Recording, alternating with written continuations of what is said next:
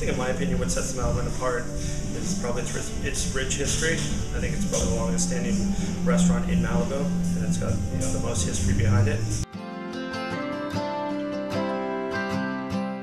Been out here for 36 years, and uh, I've seen it go through so many transformations, but it's always had it's always been so diverse. So it's always gone from great food to entertainment to just a local hangout, and it's never really lost that.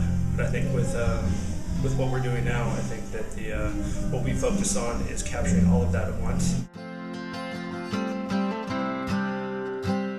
I think the passion that he shares for food came out in our menu, and he nailed our menu like to a T. I mean, just the way that he does uh, simple dishes and transforms them into something that's just just yummy, creative, amazing.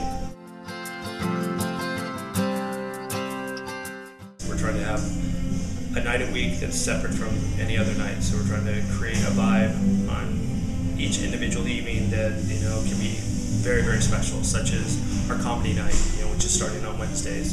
Um, we do a service industry night that um, all the local industry people they get to come on in and they uh, they to experience games like drinking games and music and all sorts of fun stuff.